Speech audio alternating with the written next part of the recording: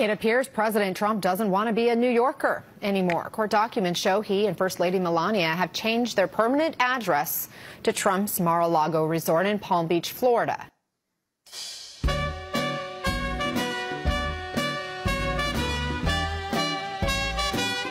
Start spreading the news.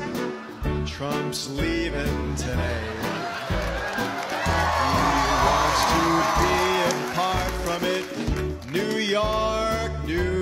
York, go tell the fake news. He's longing to stray, just like he's done on every wife.